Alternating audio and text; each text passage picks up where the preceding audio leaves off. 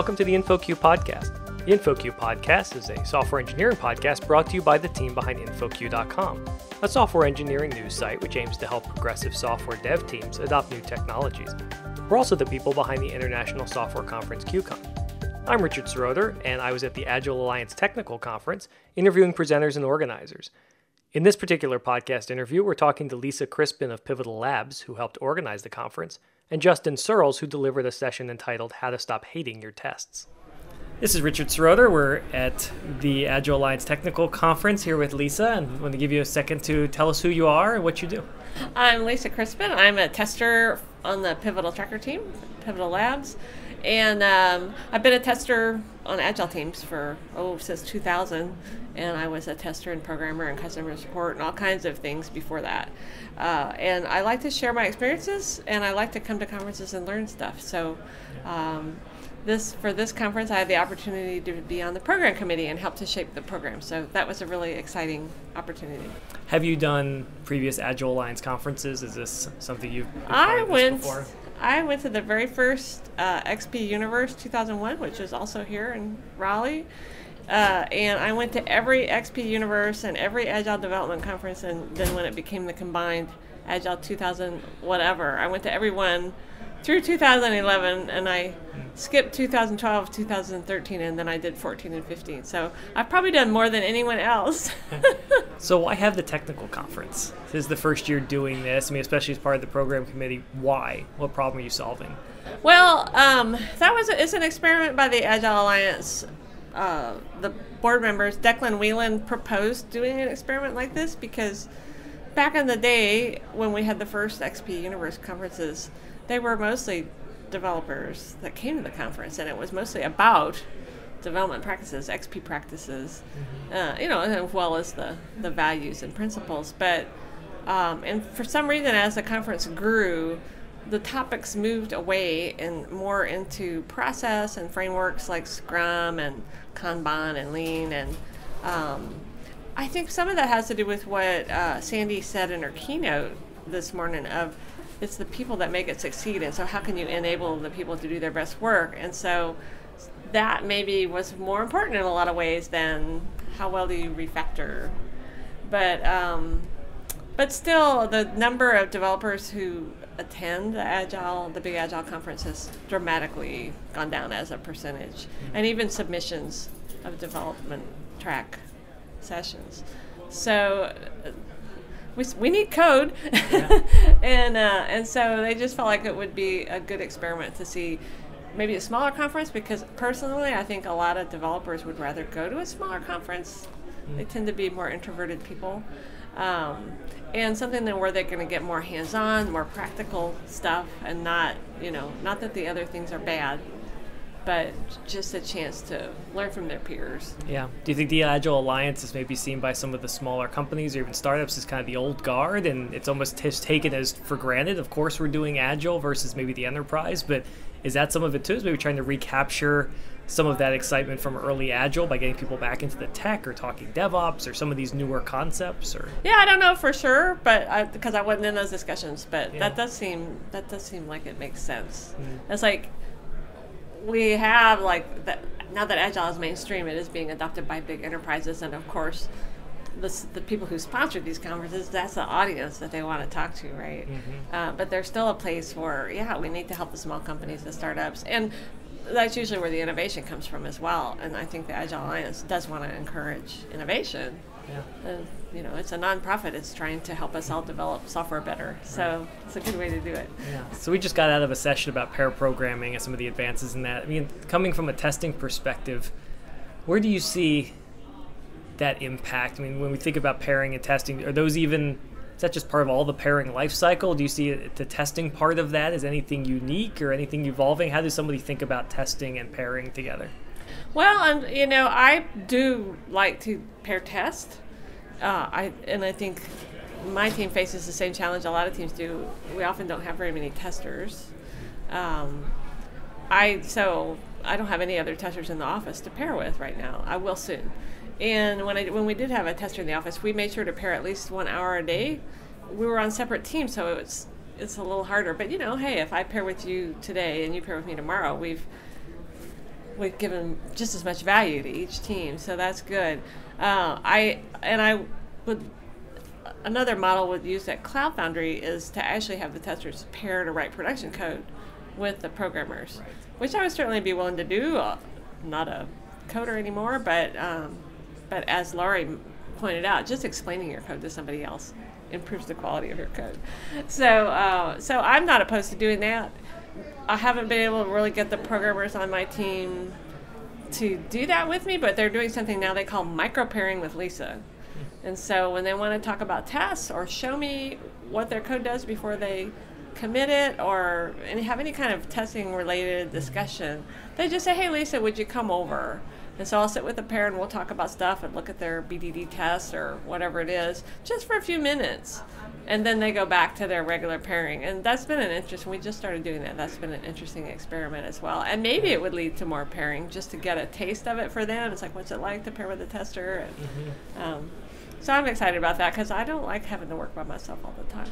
No, I've seen I've seen some more of that though. I mean, we at the office have also been doing that before, where it was you know almost got rid of a dedicated tester, and a lot of those mm-hmm. testers would become kind of quasi engineers and would pair along with other engineers. Do you see that? I mean, trying to break down those silos a little bit and not combine the disciplines because they are very different. But do you see value in that? I mean, do you like your micro pairing? Would you like to see that explode a little more into more regular things? I would like to do it more. It's just a problem of scale. Um, so if you're the only, you know, only tester for eight or twelve programmers, um, how does that work? And you know, it, I think it can only work if some of the days that you're pairing, you're pairing on exploratory testing or pairing on writing charters, uh, because that that activity has to happen as well as writing the production code, or maybe just pairing. Of course, we want to exploratory test as we go, and the developers do exploratory testing themselves at the um, story level, and I've been trying to help them develop those skills. Um, but we also need to, it's really important to explore at the feature level and look at all the ripple effects and how does this uh, this new feature affect these other older features and right. uh, what's you know what are our different users and different people with different jobs using our product how are they going to use it what are they going to try to do what scenarios will they try and oops we didn't think about what this person would do so i think those are all really important activities and so I think it's fine as long as you know it would be great if the developers participated in that and we paired on all that stuff.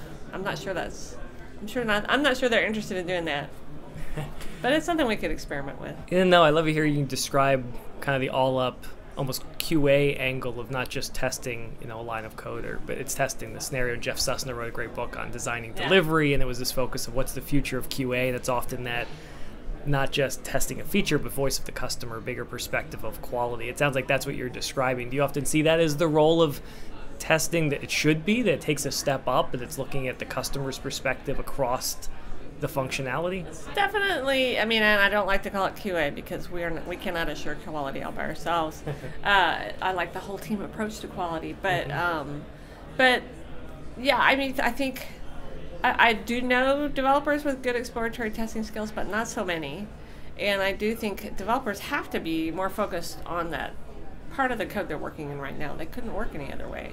Um, testers have the freedom to always be looking at more of the big picture and to be taking time to think of personas, you know, working with designers, working with analysts, working with other people on the team, they're thinking about who are the personas, who, what jobs do the people have who use our system, mm-hmm. how are our product, how are they going to use it differently from each other? It's like, wow, I'm a, I'm a, our product's a project tracking tool, so gosh, I'm a really busy product owner, and I want to, I want to enter, you know, a whole bunch of stories for this epic at one time, and so I'm going to click really fast. I actually found a bug doing that mm-hmm. because when you click the plus button to add a story too fast, it caused a problem.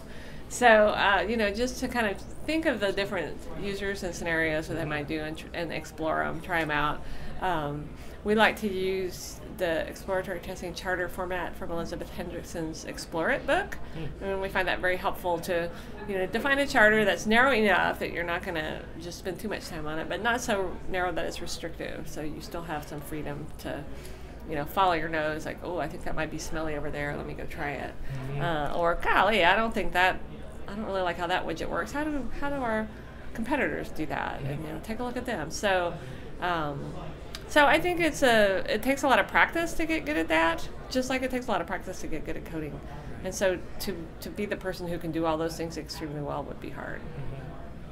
How do you pick what to attend at conferences like this? So, I mean, what's Oh, your goal when you come to something like this? Are you spontaneous or do you plan ahead? No. What, what's your point when you come to a conference like this? I do look at the schedule um, ahead of time and try to make a plan, but I do vary it. Um, so I just I'm looking mainly for practical things I can take back and try as experiments with my team. Um, or sometimes I just go because it's like, wow, that person came all the way from Germany. I want to see what she has to say. Um, but but I'm flexible. Like today, uh, during lunch, I got I went to the um, fun over study room to do sketch noting. We, we did mob sketch noting, and that was really fun. And then Llewellyn Falco came in with the the what are these people's names?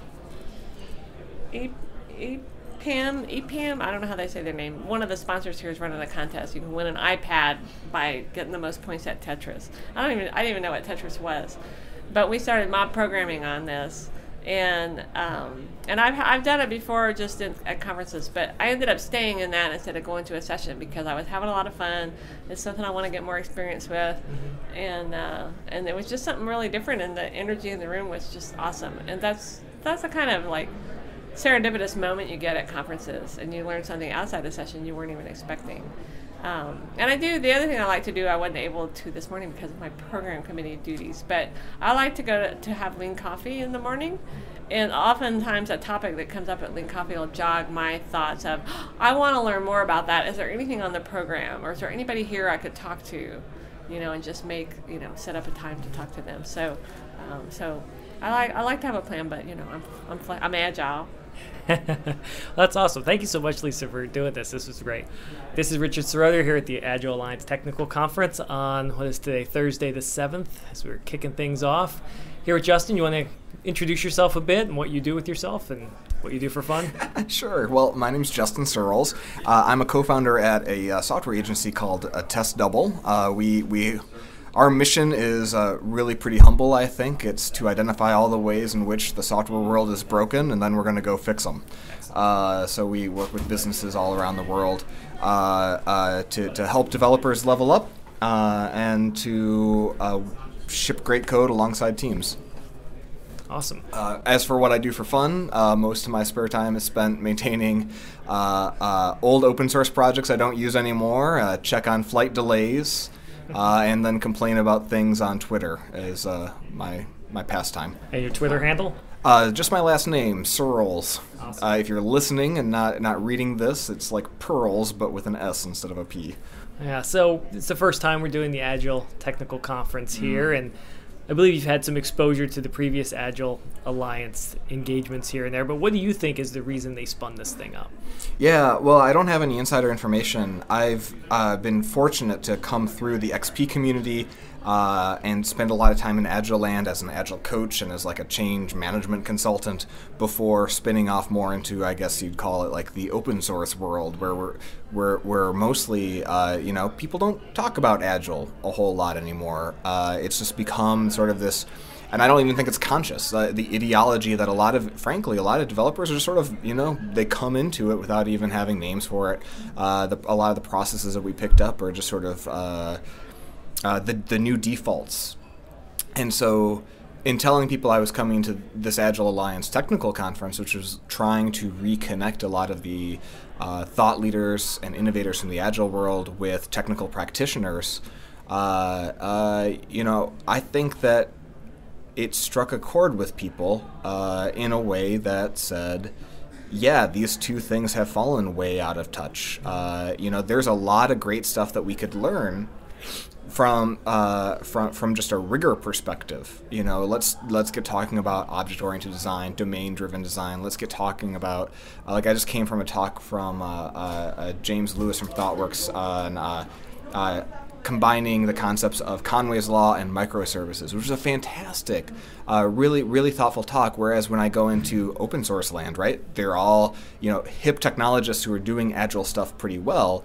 None of them have heard of Conway's Law. None of them have thought through those hard problems of like, you know, how our human systems uh, map to our code. And so I think that, that there's a tremendous opportunity to kind of bring back or reconnect uh, uh, some of the stuff that's just taken for granted in software land to its first principles, or at least to like its sort of like you know founding concepts.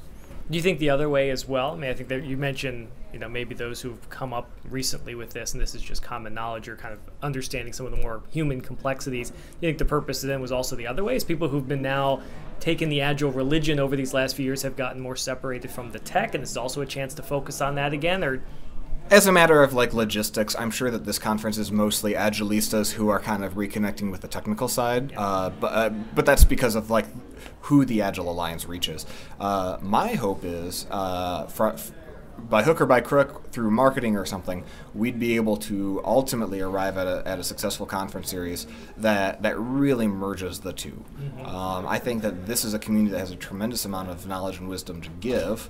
Uh, uh, uh the open source community, I think, doesn't know that they're missing it. Hmm. Uh, or just uh, when I say open source, the default general development community writ large, and vice versa. I mean, some of the, um, you know, I think part of the reason why the Agile Alliance has been able to uh, uh, uh, kind of march along for so long is that they do have developers in the room, but those developers work in big banks, big enterprises. They're still doing Java, they're still doing .NET, uh, and there's enough developers left in the room to to sort of justify the exercise. When in fact, I think the people excited about Agile tend to be more. Uh, uh, the focus has been more on process on, on project managers uh, and people higher up the, the food chain executives and how to make agile organizations, which is all great stuff. But I think it's lost lost a connection with the work, with, with the actual art of development and the development practices.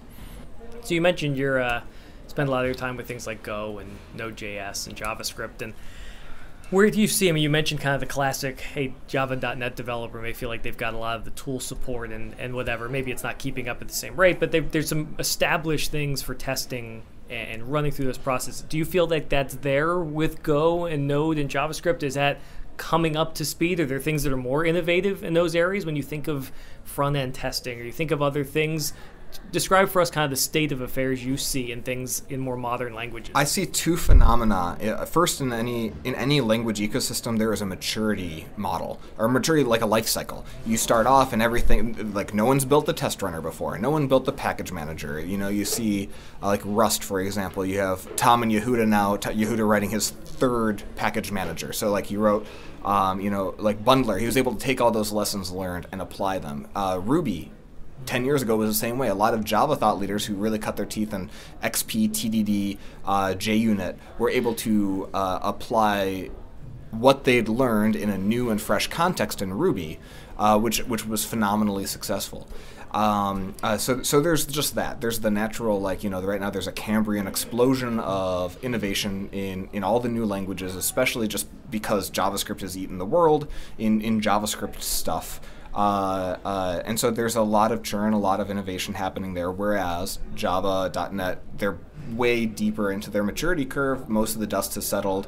There are established patterns for solving a lot of the problems, and a lot of the type of you know uh, cage rattlers have have they've since left the room. They're they've moved on to to greener pastures because they want to be you know shaking things up and innovating in, in areas where that's needed. Uh, so so there's that as as a phenomenon. But to the second point and getting back to the, the whole first response about like I, I wish that there was more of a connection when I see as a as a as a as a self self identified uh, testing and TDD uh, uh, aficionado. Uh, when I go into JavaScript communities where there's an order of magnitude more developers than anywhere else, it's yeah, I don't love this the, this idiom. It feels like blind leading the blind. It's like people know testing is good, uh, and there's a lot of tools for it. But I, and frankly, I think a lot of those tools are very ill-considered or, or, or naive in the in, in the opinions that they proffer. Uh, the APIs, uh, like for example, I wrote recently uh, after years of complaining about it. I wrote a, uh, uh, a library called testdouble.js. It's on NPM as testdouble, which is a little bit of a brand confusion because my company's name is also testdouble. But I wanted to make sure that I got the NPM name for myself. And I did it because a lightweight, lean mocking framework didn't really exist for, for, for JavaScript. Everyone's using this thing called Sinon, which it suits some people fine, but I feel like the API is uh, people have to work against it to be productive. And what I really wish that we'd see is let's take some of the lessons learned from the agile community writ large, from these other legacy, uh, uh, uh, not to use legacy as a pejorative, but more mature language ecosystems. Like, frankly, Testdouble is just me re-implementing Mockito, which is a Java library that was written uh, probably 12, 13 years ago at this point. So maybe not that long, but but it's definitely you know it's these aren't novel ideas. I'm simply just you know uh, taking advantage of my ability to cargo cult them. So so so that's being a bridge is is one aspect. The other bit is like I want to be where the people are. You know, there's a ton of people learning JavaScript right now. It's the new default. Uh, uh, uh you know, I there's a reason why I don't spend a lot of time, you know, trying to teach Clojure developers how to write better tests. Uh, because most Clojure developers are really advanced developers. They can self soothe. Same goes for Elixir or Elm. They can figure things out on their own because they're self starters. Uh, but uh, not to say that JavaScript people aren't self starters, it's just a huge, like, it, because uh, uh, it is the new default uh, language that people get flung into, there's a tremendous opportunity to, to, to meet those people and to help them out.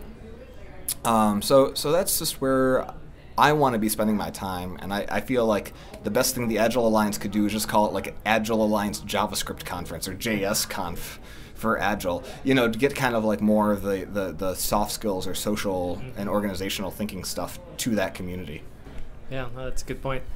What about Go, which is even newer? And in that case, my my grasp of Go developers is they're typically also more advanced developers who are coming into that. Are those frameworks starting to catch up? Do you see, or is that also a group where people are starting to still craft their own, or they're just kind of making do with what's available? I feel like Go is a really interesting. Uh, Go is a humble language, in my opinion, because I think that a lot of the very, very skilled, experienced developers have embraced Go almost because it's not super expressive.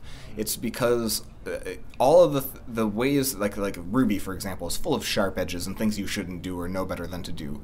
Uh, Node.js, in, in a lot of ways, as much as I, I love uh, uh how productive I can be in Node, uh, has a has a lot of kind of intrinsic design things that just make it very easy to write very problematic systems. Go is like a language, kind of sort of, it's a suitability language, as Gary Bernhardt gave in his great talk on capability, suitability. Kind of like Java was written to put in bumper lanes for all those C developers who are writing all of these buffer overflows everywhere. I feel like Go is a suitability response to all of the dynamism uh, uh, that uh, that that's that's been popularized over the last decade. It's like no, we can write much uh, uh, more scalable systems, both from a throughput as well as a maintainability perspective, if we give the actual application layer fewer constructs to play with, less expressivity.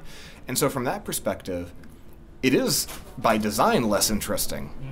And uh, I almost feel like the, the human phenomenon, the people using Go, and the different reasons why they've they, they've come to love it, uh, is, that's the interesting part to me. Um, whereas as the the language itself, uh, for the people who are, you know, um, more interested in helping kind of like r- polish off the, the rough edges in different language ecosystems, uh, uh, I just have less to do there. so I don't spend as much time in the Go community as I might. But if I was starting a new business uh, that that had to be rock solid and had to be reliable and had to be scaled up to a really large team, then Go would probably be a pretty good choice because it's a safe bet. Interesting. Last question for you: As you think about some of the new application patterns, and maybe they're really just new veneer on classic things of mobile or high throughput Internet of Things things or different mm. asynchronous messaging, things that we might have done in variations before, but now are more prominent. Does that change your approach to testing when you've got more complex distributed systems with more moving parts and more microservices now? I'm not testing a monolith. I'm testing something comprised of 45 different services all connected with an ephemeral messaging backbone. I mean, there's those fundamental constructs are different. Does that change your approach to testing, or does it still focus at the higher level capability, and that's plumbing to you? Okay, that's a really, really great question, and I think it's. Um, I, I would, I would kind of. I have, a, I have at least two responses. I, this is my last question, so I'll just keep talking until time runs out. um, now, seriously, uh, first and foremost, I separate in my mind uh, testing that I write as a developer to uh, be sure that my code is working in the small to give myself a sense of progress, to slow myself down to make sure that like the APIs that I'm writing, the objects that I'm writing are are usable. Mm-hmm. Uh, uh, I write really really isolated unit tests. So even if like what I'm writing is ultimately embedded, or ultimately uh, you know this really cool new space, mm-hmm. uh, uh, like mobile, like Internet of Things, like a wearable uh, it's not going to change at the end of the day that I've got these listings of small objects and I'm going to write isolated unit tests against those listings of small objects for whatever the behavior is. And so in that sense, that's uh, it has a sort of timeless use uh, uh usefulness. Uh, that that skill is never going to expire. That's never going to go out of vogue. The what to do about integrated testing what does that mean when I need a device lab of 35 different types of devices, or if the system, uh, as, you might describe it, is like all of these different machines or all these different microservices, another another popular permutation. And for that, I think that um, you know, speaking of communities that open source developers and startup land uh, doesn't connect with well, is is there's a lot of really rigorous thinking in the QA community. Mm-hmm. We don't talk to them a whole lot. They show up at the Agile conferences, so it wouldn't be so bad for for, for them to connect here. But um, I have always viewed full stack uh, testing and automation, automation of that stuff uh, not as a an ends unto itself. It is a means to good QA people, good good testing, uh, to remove the drudgery, to automate the stuff that is brainless.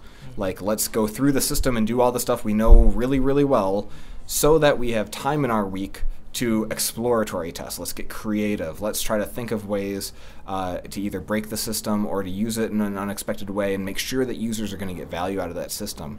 What inevitably happens, especially as the systems get more complex and there's more moving parts, is that QA teams that, that are that are focused primarily on automating a lot of full stack tests, eventually there's an inflection point where the tests stop serving you and you start serving the tests. Mm-hmm. And now it, it's more than a full time job just keeping up with all of the uh, uh, breaks that occur because of course of business changes to the application code. Um, and so that's in my practice when I talk to QA people, a lot of it is helping them, helping liberate them from their own full stack tests, helping them uh, identify ways of you know uh, uh, budget maximums uh, uh, say like you only have a five minute budget for your build to run, and if something doesn't fit, you have to make the system faster, make your test faster, or throw away a test. Uh, giving teams permission to throw away automated tests and, and it reintroduce exploratory testing in certain cases, or find ways to, uh, instead of uh, you know write a whole bunch of redundant tests that do create, read, update, destroy against every single resource in a system. Uh, instead, snake through all of the various features with a single smoke test that tries to interact with as many of those kind of uh, related features as possible, as if you were a real stakeholder. Um, so there's tons of different strategies that I think are stuff that the ATDD, uh, acceptance test driven development, and then later the BDD movement, it's stuff that Dan North was blogging about in 2008. So I don't think it's a it's a change necessarily uh, in the fundamentals. Mm-hmm. Uh, I feel like it, maybe it's just that the, the, the, the hardware reality got, got really interesting, and we still hadn't learned the basic lessons of like how to test a web app. Mm-hmm. So so it's an arrested development problem when you come to the full stack testing. Uh, either way, we we still collectively have to get a lot better uh, and more disciplined and just have a better language for, for how do we talk about good QA, good full stack testing, and as developers, how do we go about designing the, the automation aspect. Awesome, Justin. Hey, thanks for the time. I appreciate it. Thank you, man. Appreciate your time.